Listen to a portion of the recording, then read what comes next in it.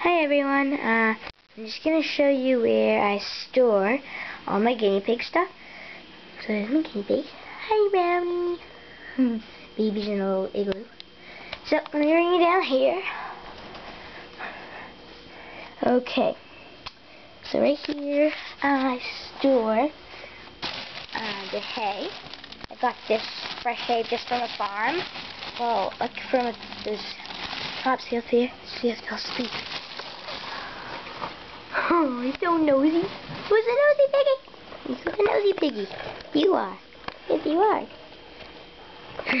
so, alright, and this is just some Timothy hay.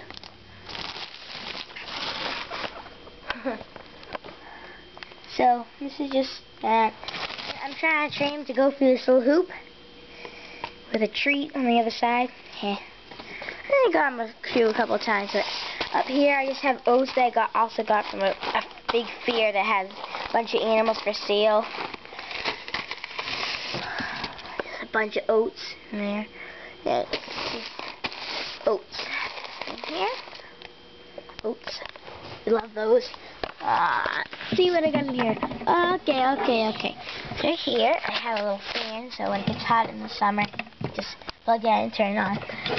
a little heater